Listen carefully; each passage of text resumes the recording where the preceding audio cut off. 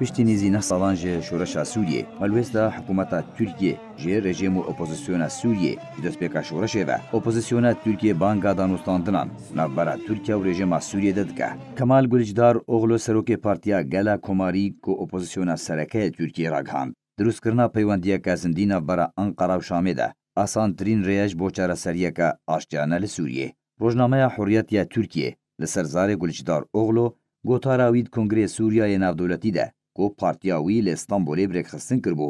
و ګوهست و ګوت و ګراندنا پیوندیان نبره ترکیه و رژیم سوریه ده آسان ترین ریا بو آشتی و آرامی له سوریه او یک پرگرنگه دا کو آرامی له ترکیه جی وګره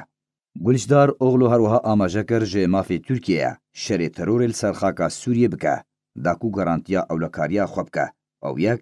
دزاگون ناف دولتی دا گارانتی کریه لید وید همان دمیده پیوندین دیروکی نابرا ترکیه و سوریه ده yên bihêz û cîrantiya baş li ber çav werin danîn pêwendiyên rastûxe navbera Tirkiya û rejima Sûriyê de durust bibin û vegerin wekî berê.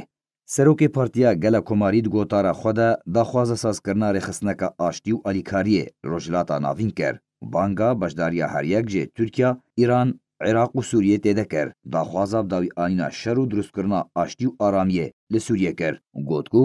دوی چاره سر یک جی دوسیا پنابران جی لگور زاگون نافدولتی و مافی مروان وردیتن پارتیا گلا جمهوریه ترکیه کنگره خوی نافدولتی درباری سوریه روژا شمیل باجار استانبول درخست هجمارک دوسین گریدای کریزا سوریه گنگشگر رژیما سوریه جی و خوان جبو چاره سریا کریزا سوریه و دسلاتداریا ترکیه لی دسلاتداریا ترکیه ویزه درباس بونه ندا هجمارک کسایت سوری با باشداری دوی کنگره دبکن دما کو شورش سوریه د سال 2011 د دست پیکرد تورکیا دژاتیا خوش رژما سوریه را و پشتوانیا شورش راگهان